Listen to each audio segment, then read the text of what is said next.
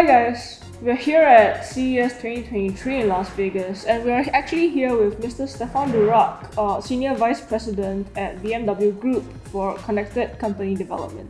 Hi Stephan. So tell us more about the new updates to the UX UI experience. So in 2023, in the middle of the year, we're going to change a couple of things on our uh, user interface. So we're moving away, you know, from a column-based, horizontal-oriented main menu to a map-based main menu because I think the map is a really important part of your interaction. So it will be map as a browser, as a synonym I would say. And we will put all the important information on top of that. So this will be the entry point in your new user experience, so to speak. So what are future improvements that we can expect to see in this area and you know with AI being a very big part of how technology is advancing would we see AI possibly pay, playing a role in this area as well?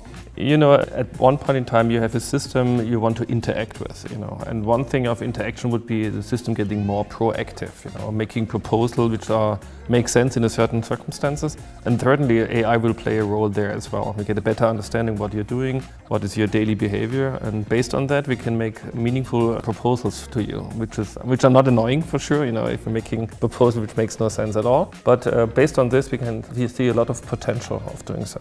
Some other car manufacturers have brought in some interesting um, features into their cars, like Tesla being mm able to play, you know, your PlayStation mm -hmm. 5 in the car when your car is on autopilot and mm -hmm. stuff like that. What, what do you think about, you know, that sort of entertainment in, in a car?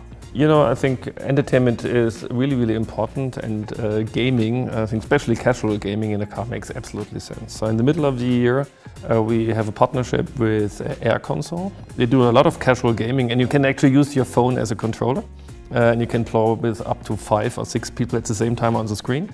And so we'll ship features, this feature in the middle of the year as well. So gaming, for example, special casual gaming, I think it's really important part in the car. Video content is another thing. You, you can watch YouTube videos, for example, in our cars right now. You know, the, the most important thing when you're driving is always your, your safety and your security. So driver distraction we're taking very serious.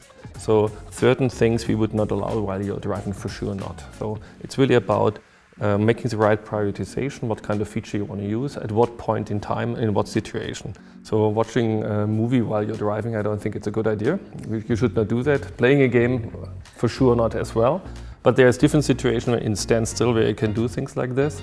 And like I said, distraction and perfect car UI is actually if you're capable to pick the right amount of information at the right point of time at the right location. And this is really what we are focusing on. Where do we display the information at what point in time? In our head-up display, in our instrument cluster, in our CID, in different place, ways to do that.